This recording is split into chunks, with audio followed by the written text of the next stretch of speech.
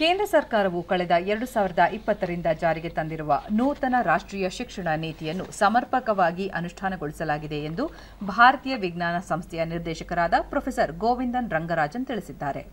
ಬೆಂಗಳೂರಿನಲ್ಲಿ ನಿನ್ನೆ ಸುದ್ದಿಗಾರರೊಂದಿಗೆ ಅವರು, ಭಾರತೀಯ ಜ್ಞಾನವನ್ನು ಹೆಚ್ಚು ಪ್ರಖರಗೊಳಿಸಲು ಮತ್ತು ವಿದ್ಯಾರ್ಥಿಗಳಲ್ಲಿ ಕಲಿಕಾ ಸಾಮರ್ಥ್ಯವನ್ನು ಹೆಚ್ಚು ಪರಿಣಾಮಕಾರಿಯಾಗಿಸಲು ನೂತನ ರಾಷ್ಟ್ರೀಯ ಶಿಕ್ಷಣ ನೀತಿಯು ಪೂರಕವಾಗಿದೆ. ಅನೇಕ ಅನುಭವಿ ಶಿಕ್ಷಣ ತಜ್ಞರ ಚಿಂತನೆಯಿಂದ ಈ ನೀತಿ ರೂಪಿತವಾಗಿದೆ.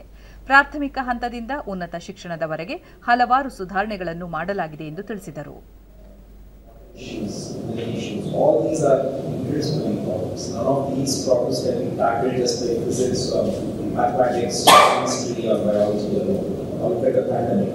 So all these issues therefore need to be tackled in a multidisciplinary way. And that is where I think NEP makes a strong point that you have to have a multidisciplinary uh, approach embedded into all students. So I think once they have the multidisciplinary uh, outlook, I think we will find these issues to be interesting and will take up science.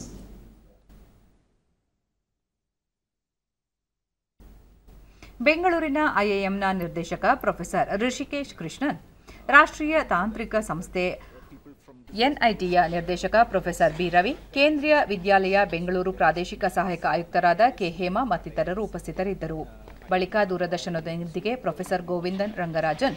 ರಾಷ್ಟ್ರೀಯ ಶಿಕ್ಷಣ ನೀತಿಗೆ ಸಂಬಂಧಿಸಿದಂತೆ ರಾಜ್ಯದಲ್ಲಿ ಕಳೆದ ಮೂರು ವರ್ಷಗಳಲ್ಲಿ ಕೈಗೊಂಡಿರುವ ಕಾರ್ಯಕ್ರಮಗಳ ಬಗ್ಗೆ ಕೇಂದ್ರೀಯ ವಿದ್ಯಾಲಯ, ಸಿಬಿಎಸ್ಇ, ರಾಜ್ಯ ಶಾಲಾ ಶಿಕ್ಷಣ ಇಲಾಖೆ ಸೇರಿದಂತೆ ಇನ್ನಿತರ ಸಂಸ್ಥೆಗಳೊಂದಿಗೆ ಈಗಾಗಲೇ ಚರ್ಚಿಸಲಾಗಿದೆ ಎಂದು ಮಾಹಿತಿ ನೀಡಿದರು.